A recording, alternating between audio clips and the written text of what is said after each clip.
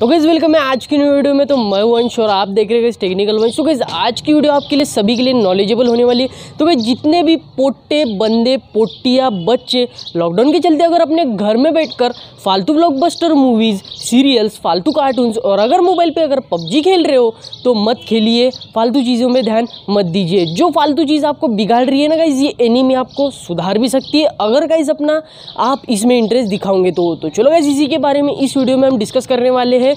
तो चलो इस वीडियो को शुरू करते हैं। शुरू करने से पहले हमारे चैनल पर अगर कोई नया आया होगा तो सब्सक्राइब करके बेलाइकन को प्रेस कर दीजिएगा। तो चलो इस वीडियो को शुरू करते हैं। तो गैस सबसे पहले हम बात करते हैं हमारे एनिमी के बारे में। एनिमी क्या है? तो गैस कुछ ऐसे जापानी स्टाइल पेंटिंग जिसमें कुछ कैरेक्टर्स होते हैं और उनके ऊपर एक स्टोरी बनाई जाती है। और गैस हमें टीवी पे भी दिखाई जाती है, लेकिन देखता कोई भी नहीं।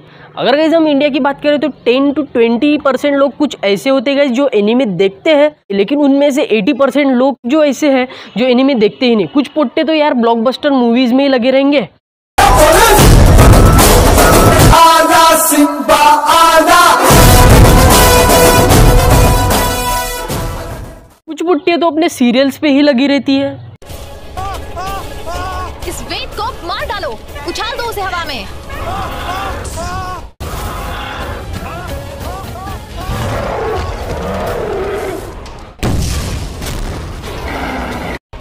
नीचे से फट गई इस मोटे पहलवान की।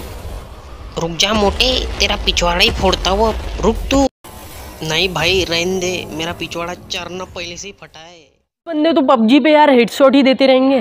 पट्टसे पट्टस पट्टसे पट्टसे पट्टसे पट्टसे हेडशॉट पट्टसे हेडशॉट पट्टसे पट्टसे बच्चे तो यार घर में बैठे बैठे ये इनके फ़ैन ही हो जाएँगे छोटा भीम शिवा मोटू पतलू।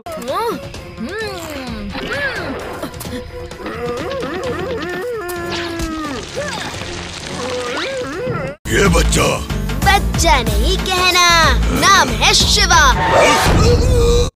अरे भाई, देखना ही है। तो ड्रैगन बॉल से Dragon Ball Super Trinity Blood Naruto Sonic X Doraemon Kiteretsu Pokemon Shinchan ये सब देखो ना।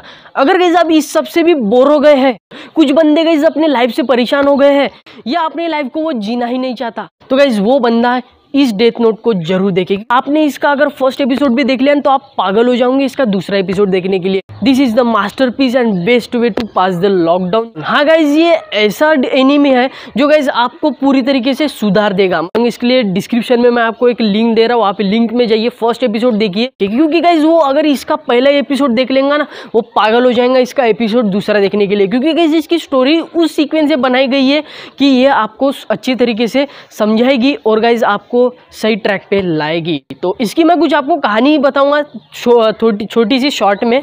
तो चलो कैसे भी इसकी स्टोरी देखेंगे। सबसे पहले होता क्या है कि गाइज़ एक बंदा होता है ऊपर में ऊपर में, ठीक है? गॉड ऑफ़ डेथ जिसे हम बोल सकते हैं, उसके हाथ में एक बुक होती है, जिसका जिसका नाम होता है गाइज़ डेथ नोट तो गाइज़ उसकी, उस लफंगर के हाथ से वो बुक नीचे गिर जाती है। नीचे गिरने के बाद गाइज़ वो एक बंदे को मिलती है। वो बंदा अपने झोली में भर के घर में लेके जाता है। तो गाइज़ गलती से वो उसे खोल भी लेता है और गाइज़ रूल्स भी देखता है। तो गाइज़ रूल में लिखा क्या रहता है? किसी भी बंदे का नाम उस नोटबुक पर ठोक दो। ऊपर जाने की उसकी टिकट एकदम फ्री है और एक गाइज़ एक चीज़ है कि वो सिर्फ़ दो सेकंड में मरेगा।